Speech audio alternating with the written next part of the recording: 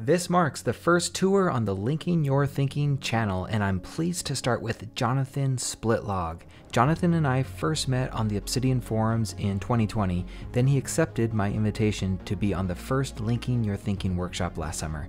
Since then, we've had many riveting conversations on all sorts of topics. He is truly somebody whose thoughts I cherish. So much so that now we collaborate on all the graphics for Linking Your Thinking. That logo, which looks like a half digital, half organic evergreen note, that's Jonathan with his collaborator Jason Combs. In the following tour, Jonathan gives us a sneak peek into how he turns ideas he encounters into something greater than the sum of their parts. Let's view a bit of Jonathan's presentation now. Can everybody see that? Mm-hmm. Okay, great. Um, Nick, so just guide us along here as I go and stop me if there's stuff that's relevant to the particular unit that we're on right now. But as Nick mentioned, I have finished this the first cohort, and uh, this was kind of what I showed at the end of our class. So this is like a sneak peek into what my full stack PKM system is, but it looks more finished than it is. I'll, I'll say that from the start. So what I'll be diving into, what I'll be starting with is this home node. So this is like the top of that emergence level graphic. Um, this would be my launching off point that everything connects back to. And the only thing that connect out from here are my home maps. Um, I call them indexes in my system, but you can call them whatever you want. So the first ones I'll be diving into, I'm just gonna be showing this interest one, but I just wanted you to see um, what my index home map looks like. So one level down from home, there would be, uh, I have these little header photos to indicate that I'm in sort of the top level. I don't really do that with any of my other notes, but I just wanted to kind of trick these out a little bit. So each one of these home maps uh, has some sort of little header photo to let me know that I'm close to close to home uh, rounding home. Like for my sources one, which is really tied to, you can see lots of backlinks here because this is tied to stuff that I actually read. These are my reading notes. I didn't bother linking out to anything from here because I'm not going to go in here and manually add a link every time I have a new source note. It just shows up in the backlinks. But this particular one is just a launching off point of useful tags for different types of sources. So if I want to dive into all my podcast notes or all my book notes, I can do that from here that's nice to have, but I think my one that I'm actually the most interested in, uh, aptly named, is my interests. The interest MOC for me is really where I'm starting to stitch together my source notes, my um, as the conversation that was just happening, my notes that are developing, my notes that I would consider mature, my notes that are uh, original and evergreen. I try to sort of stitch those together with um, some source notes. But for this one particularly, um, we are looking at like uh, the different categories of my interests. So for this top one, it's computers and technology. And then I link out to the different MOCs that I have associated with each one of those categories. So I have another one down here for um, systems and tools. So tools for thought, um, making tools, systems. Um, but the, the ones that I've really focused on for the sake of the capstone project was my computers and technology section. The actual uh, MOC that I worked on for the capstone project was this idea of mystical computation and it's sort of this research on how can we examine uh, human computer interaction through the lens of mysticism and spirituality and that was just like a research topic that i was really into for a while.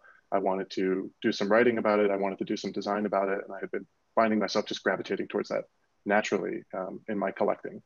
So i ended up making an moc about it and sort of collecting all the notes that i had built up along the way to that.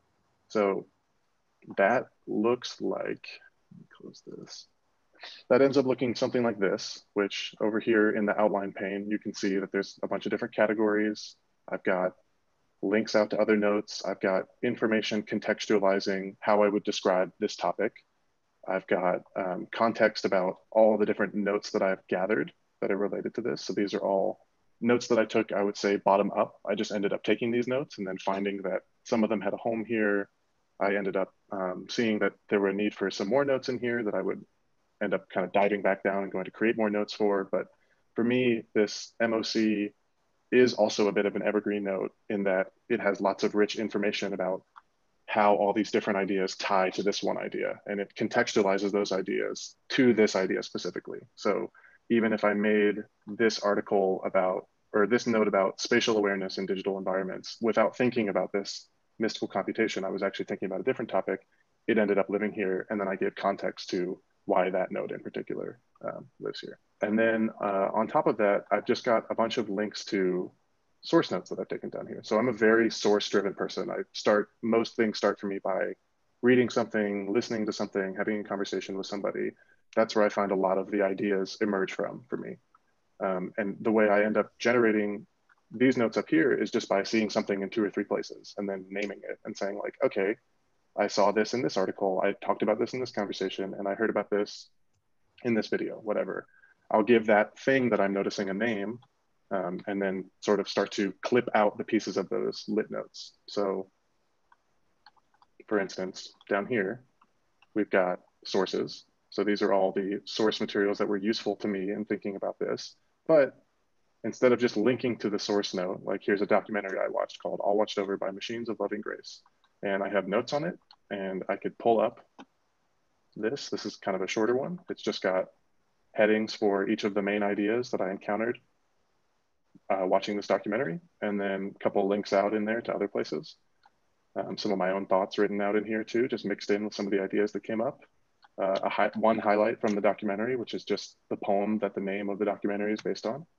But this whole note isn't relevant to this idea of mystical computation. There's like one thing in here that's relevant. So in Obsidian, what I've done, if I can switch over to editor view, is I've actually just embedded one heading from this note. So you can do heading embeds in Obsidian across notes. I'm sure most of you are familiar with that. Um, and I'll drill down into this one idea, which is computers are a reduction of human understanding. Um, extrapolations from the way computers see the world can be distorted and misguided. So the idea that if we look into the computer and it uh, tells us about who we are, we're fundamentally forgetting that we made the computer in the first place. And you just kind of, it's sort of a tools we uh, use shape us type of argument that Nick is also very into. So when I switch back into preview mode, you can see that just this one section, which is over here from the note is pulled into this MOC because this is in a pretty mature phase where I know that there's only, I've already kind of figured out which parts of these sources are relevant. But what I think this is a like a very detailed MOC compared to my other ones or compared to how I would start them normally. This was like, I'm really focusing on this for this class. I really want to have lots of context. I really want to feel like I've made an evergreen note that I can feel like is in a good place to leave and come back to. And I have an understanding of what the hell I'm talking about with all these different notes scattered across my, my vault. Um, but just to quickly show, I think what a more straightforward one would look like for me um, is this one I have on computer history, which is much more a nonfiction topic that I just have notes on different things on. So um, back in my home note, I have everything broken down into these different categories of interests, concepts, sources, reference, education, writing, documentation, journal, and then some other stuff that's more meta to Obsidian. Um, but like Nick's LYT Kit, these were just my categories that I came up with that were helpful for me. And when I go into this computer history one, you can see that it's broken down exactly along those same lines. So I have stuff I'm interested in, which is usually more original notes, more what you would consider Zettelkasten type of notes. Um, I have concepts I've encountered. I have uh, sources that I read that I haven't gone through and found those particular uh, slices that are perfectly suited to illustrate this point. I might not need to because this whole MOC is just about history. Um, so pointing to historical sources might be enough. And then I have just some reference of these are important people to keep track of. These are important places that have come up. Um, so for me, I kind of try to break things down into original ideas I've had versus things I've encountered. And then the evergreen note, the practice becomes, or MOC, the practice becomes stitching those together. So how do my original ideas tie into the source materials I've encountered, tie into the reference material I've encountered? And then how would I contextualize and explain that to myself so that I can find that stuff again, but then as the springboard for making something that I could then turn into a publication. Like I could very, I won't say easily, but readily make a, a publication about certain aspects of this idea of mystical computation. And then when I need to dive down into, you know, what do I mean by mystical computation? Well, I've got a note about that. I've got a note defining that term, even though this is an MOC and it sure has some context about it, I still need to have a note where I have my terms defined for each of these things. So I feel like that's a pretty comprehensive look of how we go from home note to a pretty broad MOC, uh, narrowing down into a more specific interest that links out to individual small notes that links out into source notes that I've been capturing. And then those are analyzed and contextualized into this MOC. I hope you enjoyed this sneak peek into Jonathan's mind. Did you get anything out of it? Do you want to see more of these types of tours? There's a lot more where this came from if you do. Please let me know below.